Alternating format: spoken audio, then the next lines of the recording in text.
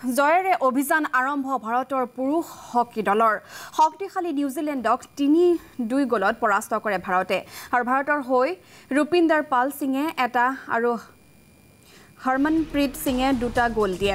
এক breaking news আমি news টাইপৰ দৰ্শকক জনাই আছোঁ জয়েৰে অভিযান আৰম্ভ ভাৰতৰ পুৰুষৰ হকী দলৰ। শক্তিশালী নিউজিলেণ্ডক তিনি দুই গ'লত পৰাস্ত কৰে ভাৰতে আৰু ভাৰতৰ হৈ ৰূপিন্দৰ পাল সিঙে এটা আৰু হৰমনপ্ৰীত সিঙে দুটা গ'ল দিয়ে।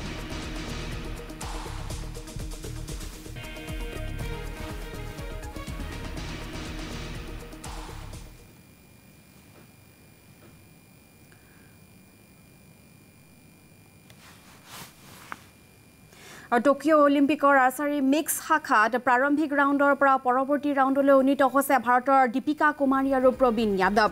দহ মিটাৰ এয়াৰ ৰাইফল প্ৰতিযোগিতাত মহিলা শাখাত প্ৰাৰম্ভিক ৰাউণ্ডত ব্যৰ্থ ভাৰত অপূৰ্বী চন্দেল আৰু এলাভেনিল ভালাৰিভেনৰ দুৰ্বল প্ৰদৰ্শনৰ বাবে পৰৱৰ্তী পৰ্যায়লৈ উন্নীত হ'ব নোৱাৰিলে। মহিলা হকীত ভাৰত নেডাৰলেণ্ডছৰ মুখামুখি হ'ব। আনহাতে জুডু টেবল টেনিছ বেডমিণ্টন ভাৰোত্তোলন বক্সিঙত আজি ভাৰতে আৰম্ভ কৰিব অভিযান।